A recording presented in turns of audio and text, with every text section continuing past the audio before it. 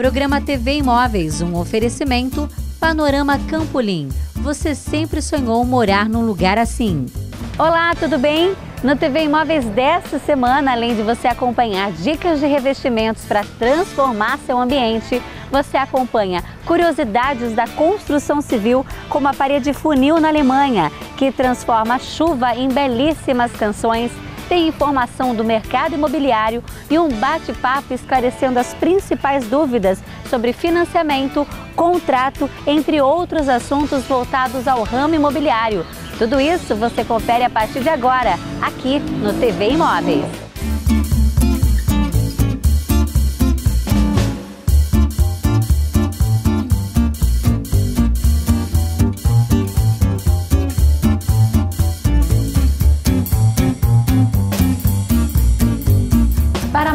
Parte da população, a aquisição do primeiro imóvel ainda é um projeto repleto de dúvidas, até mesmo para quem já adquiriu, surgem dúvidas.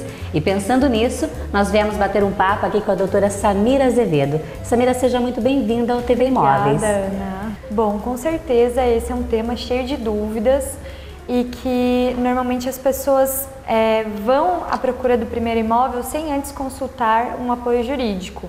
É, normalmente esses contratos são fechados de forma muito rápida. É, na verdade, tudo depende também da empresa, da construtora que você vai trabalhar, né?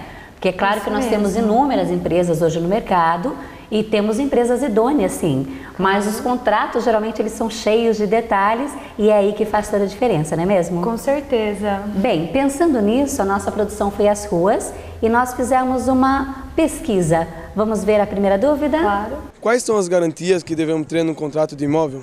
Bem bacana essa pergunta do Flavic, né, doutora? Com certeza. É a pergunta-chave que eu recebo aqui todos os dias no escritório. Bom, vamos lá. É, o contrato de venda de imóvel ele é cercado de particularidades, mas assim a gente tem que se atentar a alguns pontos muito importantes. O primeiro deles é o prazo de entrega do imóvel. Deve haver uma cláusula de tolerância para o prazo de entrega do imóvel, ou seja, lá tem que estar previsto entre um atraso de 120 a 180 dias pela construtora. Mais do que isso, é um prazo abusivo. Além, além disso, é, deve haver no contrato uma previsão de multa para a construtora pelo atraso. Ou seja, depois que passar desses 180 dias, o consumidor pode pedir a rescisão do contrato e deve haver uma aplicação de multa por parte da construtora.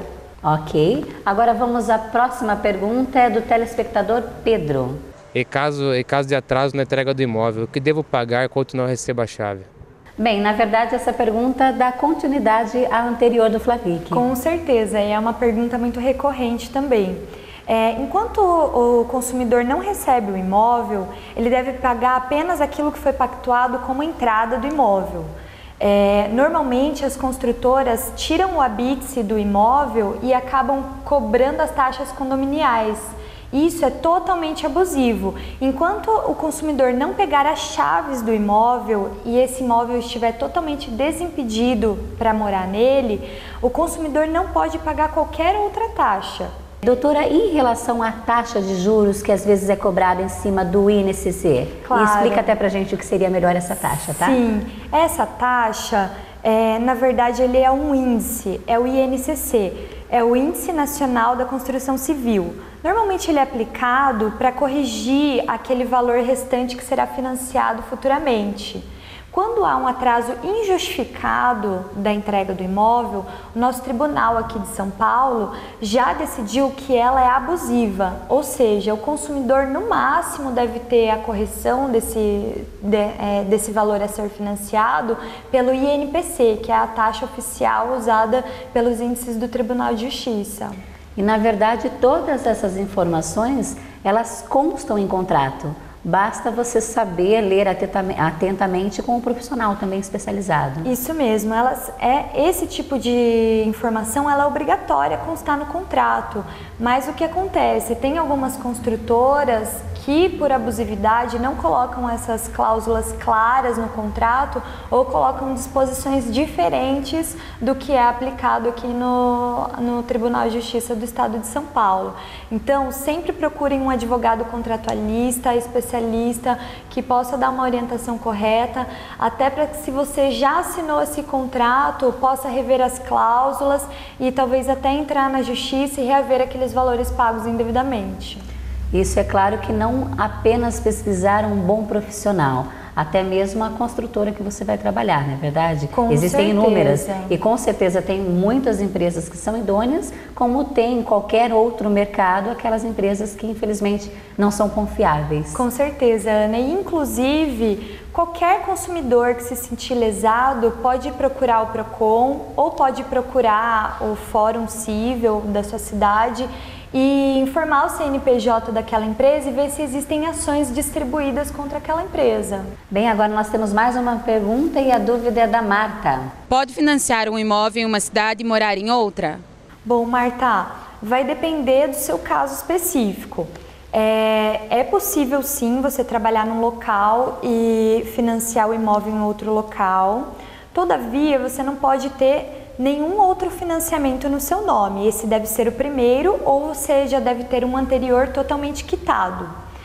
Apenas há algumas restrições no sentido do uso do programa Minha Casa Minha Vida, que é um incentivo, ou uso do subsídio do FGTS, que daí você vai ter que analisar no banco financiador a possibilidade de uso. Normalmente o uso desses benefícios é liberado para quando a comarca é contígua, ou seja, quando o local de financiamento é próximo do seu trabalho. Como por exemplo, se você morar em Sorocaba e quisesse financiar um imóvel em Votorantim. Bacana. Bem, a última pergunta, que o tempo já está acabando, é da Graziele. Como funciona o inventário e partilha dos bens? Bom, Graziele, esse é um momento muito chato para algumas pessoas, né? Muito triste, mas infelizmente a lei prevê um prazo de 60 dias para abertura do inventário.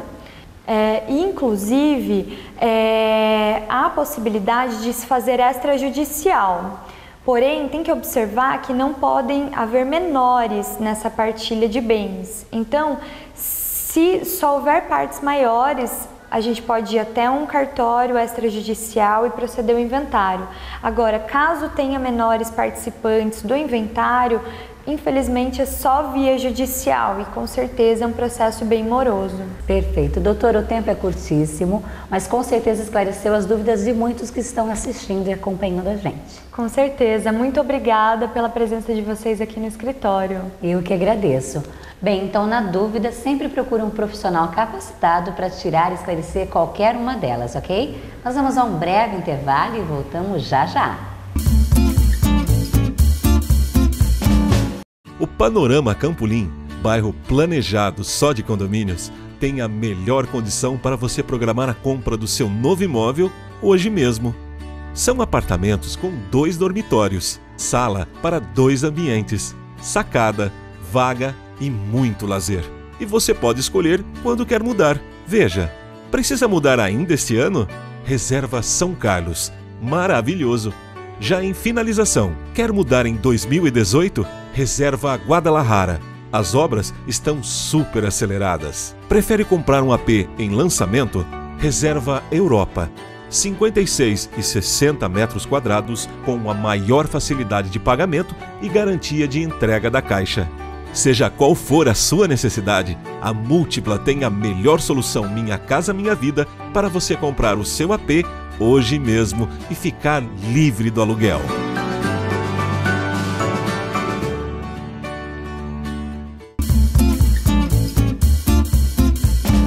Voltamos com TV Imóveis e no quadro de dicas as tendências de revestimentos que fazem toda a diferença para que o seu ambiente ganhe corpo e personalidade.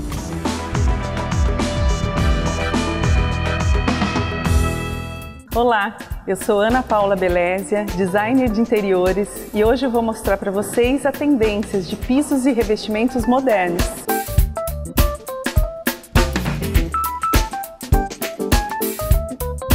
Uma das dicas que eu tenho para vocês é sobre os elementos de grafismo. O grafismo está muito em alta e os elementos geométricos estão muito em alta. Então nós temos aqui peças geométricas que dão uma modernidade ao ambiente. E onde que a gente pode usar? A gente consegue usar no piso, na parede, mas o ideal é que a gente pontue os cantos aonde eles vão. Né? Se, por exemplo, usarmos no piso, aí a gente pode fazer uma parede lisa e entrar com elementos de madeira nas mesas, se for uma cozinha, por exemplo, uma madeira na mesa, as cadeiras coloridas. Então, o piso com grafismo e com elementos geométricos, ele dá muita modernidade, muita leveza e alegria para o ambiente. Então, se você gosta dessa novidade, é uma novidade que veio para ficar. Outra tendência super em alta são os bricks, os tijolinhos. Os tijolinhos que remetem ao metrô de Londres, ao metrô de Paris, eles estão super em alta, é um revestimento super moderno e legal para deixar sua casa super jovial, mas ele pode ser usado por qualquer faixa etária. E o que fica legal nele é a paginação. Então, se você escolhe uma paginação de espinha de peixe, ela fica muito legal e muito moderna. Pode apostar em banheiros, em cozinhas, hoje em dia até em salas nós estamos colocando. E mais uma tendência bem legal que está sendo muito usada, que vai deixar sua casa maravilhosa, são os elementos 3D. O 3D ele pode ser usado na fachada, nós usamos mais as peças cimentícias, mas nós temos elementos 3D para dentro de casa. Ele traz um efeito de uma beleza sem tamanho e ele traz um efeito de volumetria. Então é muito legal. Se você quer usar menos móveis, então você pode abusar do elemento 3D. Você coloca o elemento 3D numa parede e você consegue usar um pouquinho menos de móveis. E o menos é mais. Então ele confere uma versatilidade, ele pode ser usado no banheiro, pode ser usado na cozinha, pode ser usado em salas, na parte externa. É um elemento super legal. Nós temos de várias cores, pode ter branco, tons cimentícios, eh, de diferentes materiais, até na madeira, o 3D também nós temos as placas de 60 por 60. Agora, o que ele precisa? Uma boa iluminação. Pontue uma iluminação e você vai ter um ambiente maravilhoso.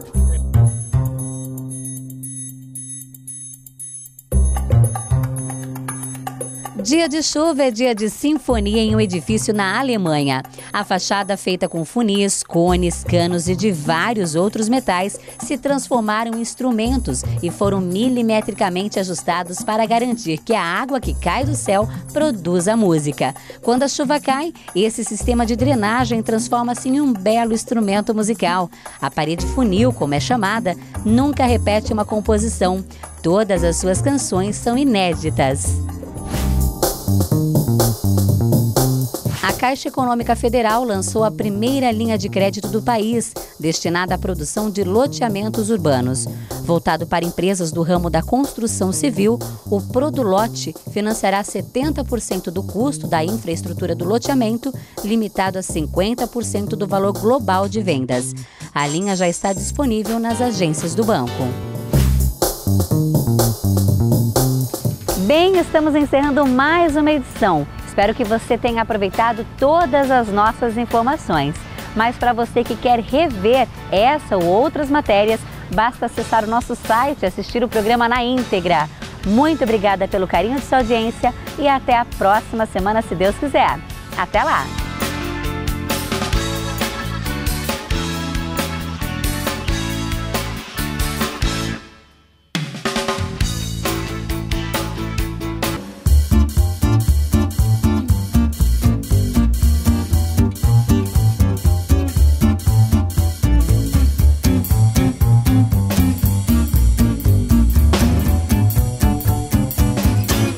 Programa TV Imóveis, um oferecimento Panorama Campolim. Você sempre sonhou morar num lugar assim.